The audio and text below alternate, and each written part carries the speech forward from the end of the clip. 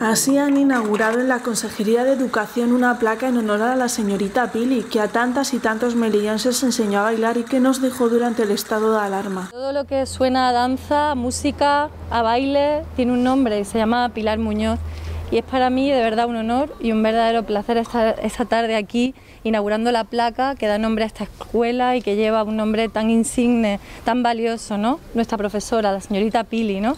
Pilar Muñoz tan conocida por generaciones, por generaciones enteras de, alumnas que han pasado por su escuela, alumnas y alumnos que han pasado por su, por su escuela. Al homenaje acudieron numerosas alumnas y alumnos de Pilar Muñoz, que hasta ahora era la única mujer con la medalla de oro de Melilla. Ella se fue sabiendo que su escuela, por la que tanto luchó y en la que tantas horas trabajó, llevaría su nombre.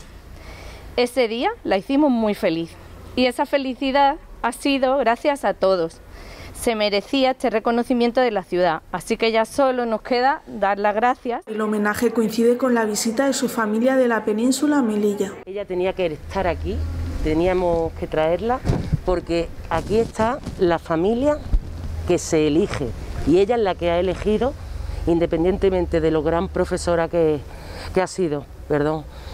Y es y será, porque, porque siempre va a estar en nuestros corazones. Gracias, Melilla.